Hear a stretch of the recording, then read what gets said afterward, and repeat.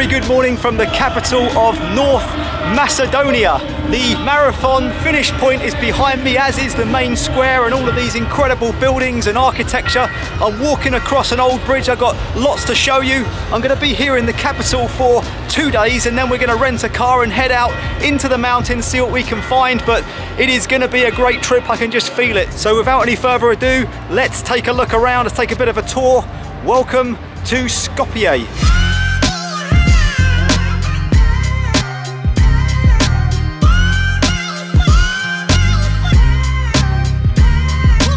So at 10 o'clock this morning, I joined a free walking tour here in the city. We were led around by a guy named Zoran, who was an excellent tour guide. He showed us a lot of the key sites, including the old bazaar, some of the bridges and the main square. He talked a lot about the history and culture and what it's actually like to live here in Skopje.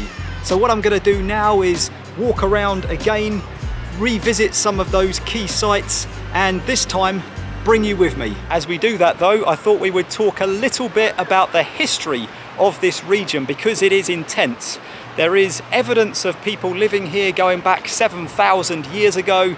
It was part of ancient Paeonia and Dardania.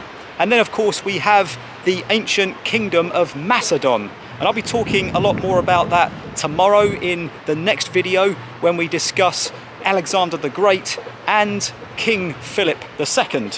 It is certainly a city famous for its statues. There must be thousands of them.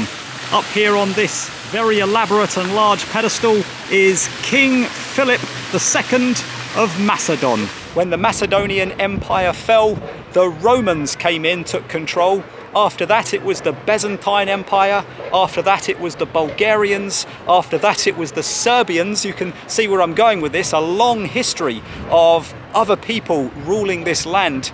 And then in 1392, the Ottoman Empire conquered this part of Europe and they ended up ruling here for about 500 years. During that long period of time, they left behind a lot of buildings and architecture, all built in the Ottoman style, including this hammam. It is an ancient Turkish bathhouse built from brick and stone.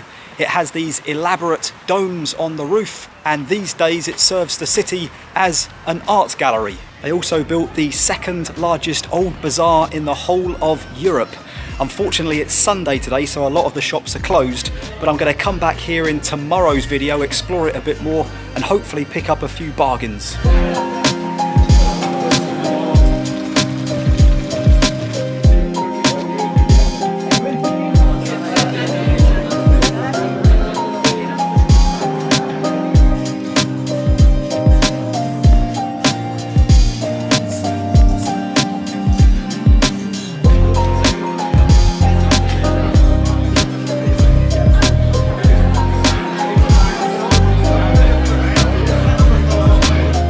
Also responsible for building the old stone bridge that you can see behind me. It spans the river Vardar that cuts the city in two and it will take you from the Grand Bazaar on the north bank to Macedonia Square on the south. The bridge is 214 metres from one end to the other it's six meters wide and it has 12 arches that make it so strong that it was able to withstand the destruction of an earthquake that happened here in the 1960s, but more on that in a couple of seconds. There were clearly a lot of magnificent buildings and structures built during Ottoman rule, but in 1913, the Ottoman Empire collapsed and the area known as Historic Macedonia became part of Serbia, Greece and Bulgaria the area now known as North Macedonia became part of Serbia.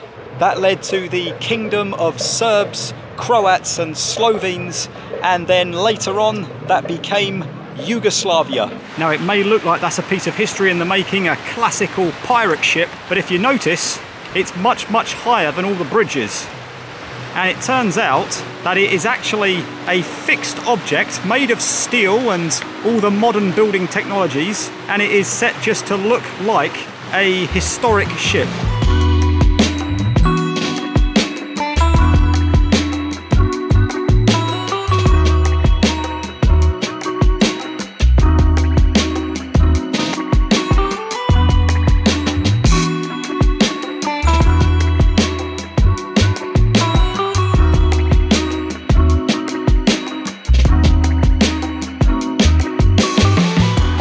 26th of July 1963, the area and specifically the city of Skopje suffered a catastrophic earthquake. 6.1 on the Richter scale, it killed over a thousand people and left over a hundred thousand people homeless. Behind me you can see the clock of the old train station. The building these days is an art gallery, but the clock has been left exactly as it was, stamped on 5.17 am, which is the exact time that the earthquake hit. The earthquake destroyed over 70% of the city, which is why some of the buildings now immediately outside the city centre have a very communist, blocky look. And that's because when you've got tens of thousands of people homeless, but to quickly erect inexpensive functioning buildings that people can live in straight away. One example of a building being destroyed is the one right here on this spot. It was originally a cathedral where Mother Teresa was baptized. Mother Teresa was born in Skopje and they have rebuilt a memorial house on the site of that former cathedral where you can go inside and learn about Mother Teresa. Just across the other side of the river there is the fortress high up on the hill. I'll be visiting that in the next video, so keep your eye out for that one. Right now, I wanted to give you a couple of examples of Yugoslav architecture, also known as brutalist architecture, the signature of which is the concrete blocky feel fascinating to see. I love seeing this kind of stuff when I visit former socialist or communist countries. You can see up there it looks like it's abandoned because the glass is shattered and broken.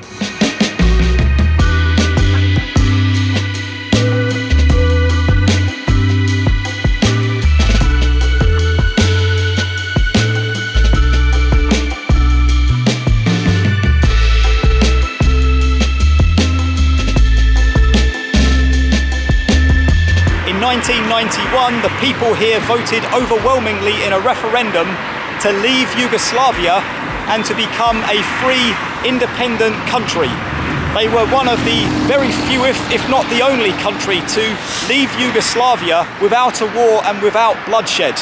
They went on to change their name to the former Yugoslav Republic of Macedonia and then once again they changed it later on to the Republic of Macedonia and then for political reasons they changed it to the Republic of North Macedonia in 2019.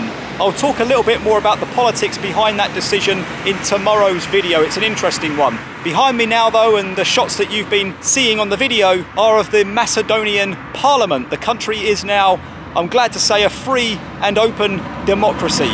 In 2014, the city began a $700 million project to bolster tourism and improve the look of the city centre. The Macedonia Gate behind me is part of it. Darkness has fallen and I am on Macedonia Square now. This is the central plaza. In the centre you will see a very large, extravagant statue of Alexander the Great a hero round these parts, don't you know? Across the far side there is a massive LED display screen.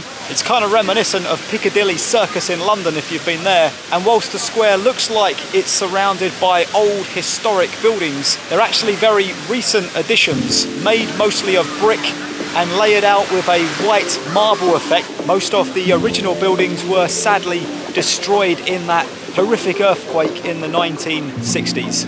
Right, one more stop left, and for that we're going to have to head down towards the river.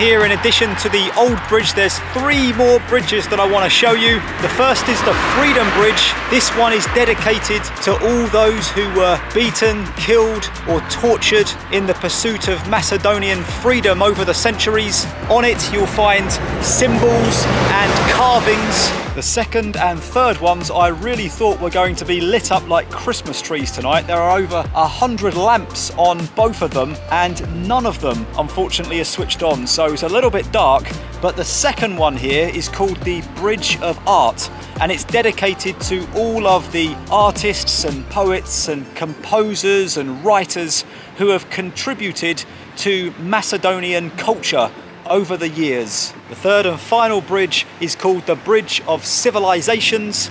It is once again lined with lamps that are not working and statues dedicated to the people who have contributed to the civilization of Macedonia and the rest of the world. I think it's also the only bridge I've ever seen that has a working fountain right in the middle of it. I am back down by the waterside. Hopefully you've enjoyed my tour around Skopje. Before we call it a day, I wanted to give you a few bits of information. I probably should have talked about this earlier in the video, but there wasn't really a time or a slot I could fit it in. First of all, the population here in Skopje is about 420,000 people. Add another 100,000 to that if you include the 10 municipality areas on the outskirts of the city. The population of the country, North Macedonia, is about 1.8 million.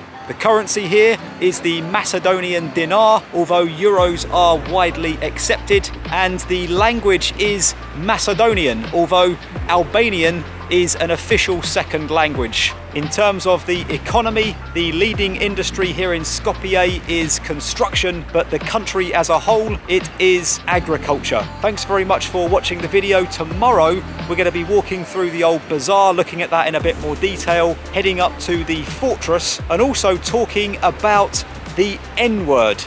For more information, check out my video tomorrow. Thanks for watching. Good night from Skopje.